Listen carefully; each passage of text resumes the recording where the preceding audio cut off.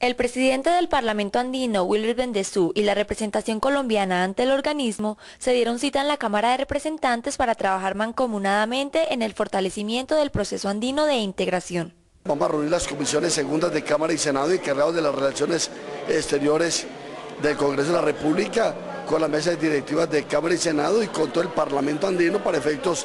de hacer una dinámica de trabajo que nos permita hablar temas como crear el consulado andino. Salió una gran idea y es realizar una cumbre social donde las mujeres vamos a tener una participación muy activa. Esas son las reuniones que tenemos que hacer, que haya integración de los diferentes parlamentos, el Parlamento, el Congreso de la República, el Parlamento andino. Conllevamos eh, en el día de hoy una radiografía muy importante en la cooperación, en la integración, en tratar de abrir las fronteras y hacer esa hermandad tanto económica, tanto eh, financiera, tanto en el tema de las divisas, en un consulado global que se pueda generar en las expectativas de